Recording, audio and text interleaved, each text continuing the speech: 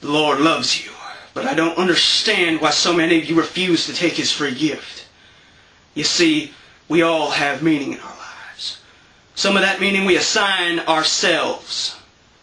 But there's also a higher purpose, a higher meaning. And that meaning is given to us by the Lord. That meaning is to worship him and to obey him. That's why he created you.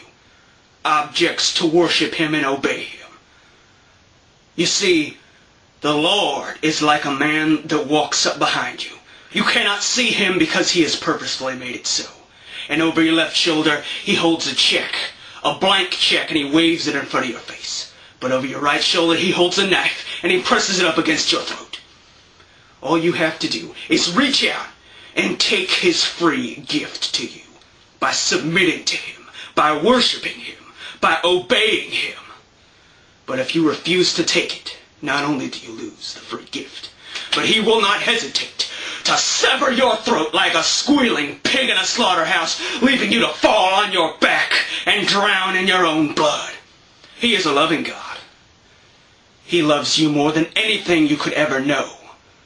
But he will let you burn. He will let you cry. He will let you suffer forever if you fail to reciprocate his love.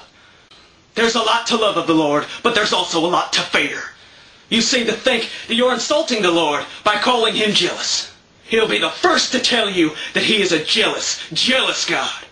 Zephaniah 3.8 For the, all the earth shall be devoured with the fire of my jealousy.